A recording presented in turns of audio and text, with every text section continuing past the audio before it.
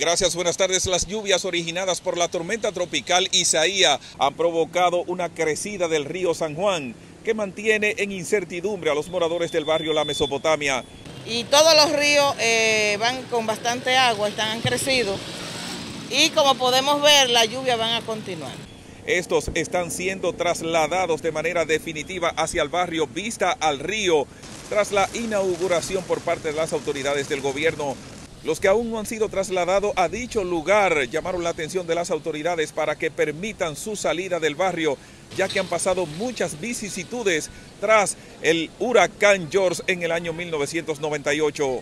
Cada vez que llueve uno está asustado con toda su gente, que somos criados y nacidos juntos toditos. Aquí vemos doscientos y pico de anquilinos y a nosotros no se nos da una razón. En algunas comunidades como Arroyo Cano, Boechío, El Cercado y otras, se han generado daños a la agricultura según reporte de comunitarios de esas zonas. Esta tormenta ha acabado aquí con los sembradíos de los agricultores. Necesitamos que el gobierno venga en ayuda de los agricultores de aquí de Bochío, por favor, que se le han ido todos, los plátanos, la, la, la habichuela, el arroz. De mi parte es todo, ahora regreso con ustedes al centro de noticias.